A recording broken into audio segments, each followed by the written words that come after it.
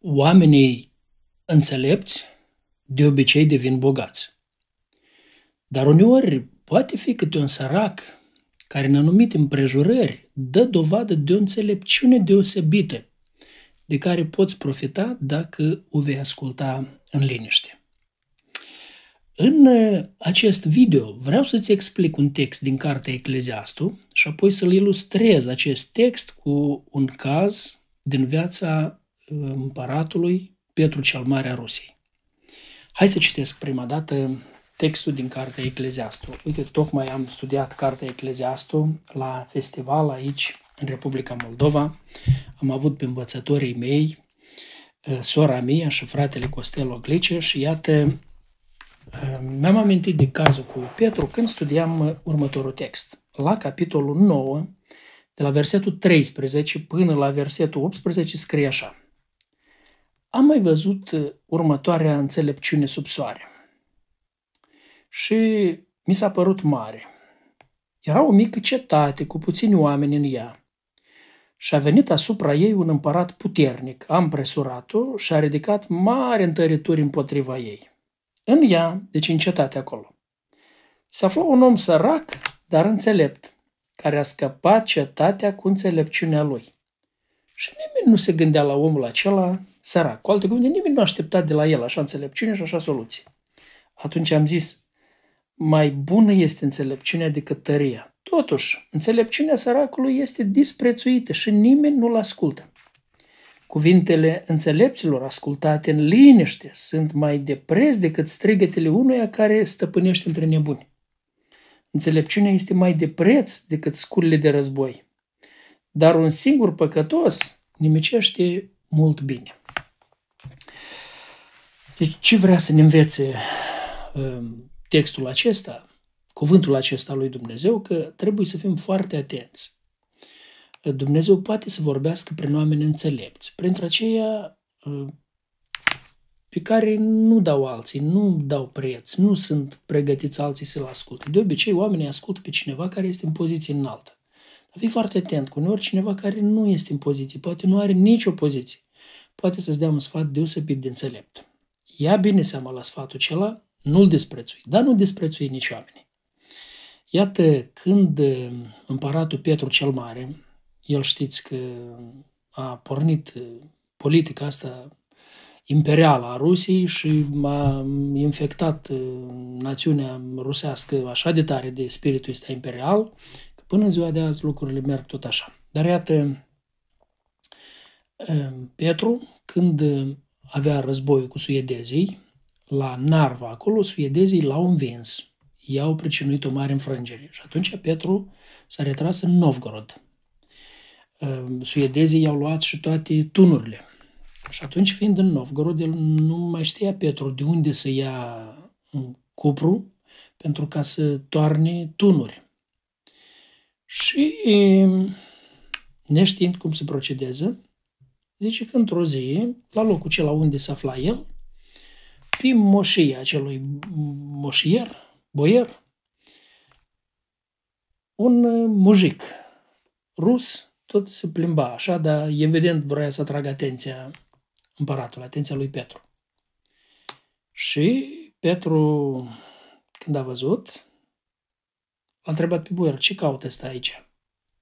Și boierul trebuie să-l întrebe, ce faci? Fugi de aici, aici e împăratul. Zice, ba, po- po- pot să-i spun împăratului de unde să ia aramă ca să toarne să toarne tunuri. Atunci împăratul zice, cheamă la mine. L-au chemat și împăratul zice, hai, zi, nu am timp, vorbește scurt. Dar asta zice, nu, nu, nu, nu, nu, n-am curaj, zice, n-am curaj dăm să beau un pahar de vodcă. N-am curaj să-ți spun. Asta turnați vodcă. I-au turnat, după ce băut, tot, tot n-am curaj, tot n-am curaj, mai toarnă mână. Mai toarnă pahar. I-a mai turnat unul. După ce băut două pahare de vodcă, îi spune apoi, zice, uite, vezi clopotele de la biserică.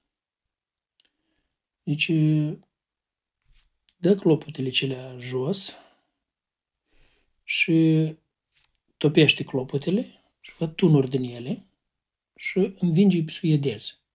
Și apoi după aceea zice, torne înapoi clopote și clopotele încă vor fi și cu slavă acolo sus. Ei, dacă era un alt împărat cu frică de Dumnezeu, cred că avea să privească asta ca o blasfemie, nu accepta. Dar Petru, el avea un foarte mare dispreț față de religii, față de preoți, își bătea joc deschis de toți, oriunde, nu... Petru era foarte disprețuitor în, în privința asta. Era groaznic, ce să vorbim, își bătea joc de oameni cu poziții, i-a apucat de barbă, le taia barba, le... că el vrea să-i schimbe pe toți, știi, să-i învețe pe ruși să berberească, numai că îi forța, îi selea în toate să facă asta. Atunci lui Petru i-a plăcut ideea. Zice, așa au făcut. O, s-a luptat, a învins, însă nu mai întors clopotele astea. Nu mai întors arama înapoi ca să fie turnate clopote. După multă vreme, de acum era Ecaterina a doua împărăteasă și au venit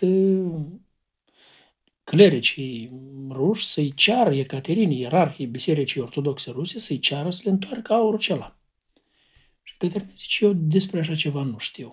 Ce aveți vreun document, ceva?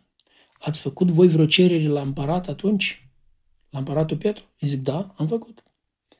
Aduceți-mi cererea. Și ei aduc cererea care au făcut-o ei atunci la împăratul Petru, dar care el o respins, nu a răspuns la ea. Și acolo era scrisă cererea lor, numai că împăratul deasupra a spus, da, asta a mea nu vreți voi? Și a scris un cuvânt cu trei litere rusesc, care este un, un jurător. Un jurător rusesc. Și ei arată, iată, asta mi-a dat. Adică eu am jurat și au bătut joc de ei, îmi bătai de joc și au alungat. Lucru care nu-i vrednic de un împărat. Un împărat trebuie să-și țină cuvântul. Asta nu i-a păsat. Și atunci Ecaterina o mai adăugat la jocul asta. Apoi el a spus, eu sunt femeie și eu nici măcar n-am ceea ce vă scris el aici să vă dau, așa că plecați de la mine. Și o rămas ei fără, fără să le mai întoarcă clopotele înapoi. Cet așa, jocul a fost. Ei, din toată istoria asta ce vedem?